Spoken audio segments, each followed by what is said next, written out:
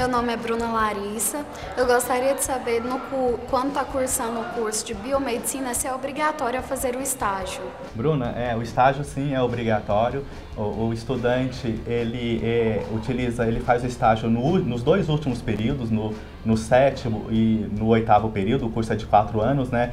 Então ele é obrigatório para obter o, o, o, registro no conselho. Então, o conselho, o conselho Federal, o Conselho Regional de Biomedicina, ele estipula uma carga horária que deve ser cumprida para que o, o profissional obtenha o seu registro. Então, de fato, ela é obrigatória. Meu nome é Vitória Diniz e eu gostaria de saber é, que eu quero me formar em cirurgia neurológica. Se ela tem muito crescimento no Brasil e quanto à especialização, qual é a sua dica para mim? Bem, Vitória, a, a neurocirurgia ela é, está em franco crescimento, porque somente na atualidade em que há uma prevalência muito grande de acidentes de automobilístico, de acidente de moto, então esse especialista ele está sempre em, em falta. Na verdade, a maioria dos hospitais tem falta de neurocirurgião. E é uma ótima especialidade, embora é uma especialidade que demora muitos anos para se concretizar, porque você tem que fazer seis anos, depois você tem que fazer uma residência de cirurgia geral e depois fazer uma outra especialidade que é a neurocirurgia. Meu nome é Giovana de Paula. Quero saber em relação ao curso de biomedicina. Existem vários laboratórios. Quais são esses? O curso de biomedicina envolve laboratórios que vão desde de, de diagnósticos básicos, que vão, que vão dar subsídio para um, um, uma, um subsídio para o clínico em um, em um diagnóstico clínico. Então, vai desde de laboratórios de bioquímica, esses laboratórios de hematologia, onde é liberado exames sanguíneos normais, até laboratórios mais específicos, onde são detectados é, é, alterações de câncer, é, alterações é, moleculares, alterações de doenças genéticas. Então, o biomédico ele pode, ele pode atuar nesses, nesse, é, na, na área, nessa área de diagnóstico, nessa, em todas essas fases, desde o mais básico até o mais complexo. E, e isso serve de subsídio justamente para o médico e para a equipe de saúde é, é, fazer o seu trabalho e, e, e que o paciente seja atendido da melhor forma possível.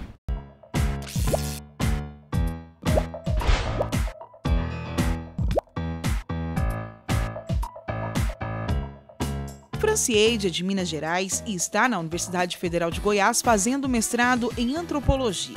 Longe de casa e sem plano de saúde, encontrou instalado no Campo Samambá, em Goiânia, algo para resolver os seus problemas. A minha história com o centro começou a partir de um dia que eu estava passando mal e me informaram que na universidade havia um centro de atendimento. Aí perguntando uma pessoa e outra me falaram que o centro, a sede foi construída próximo à educação física.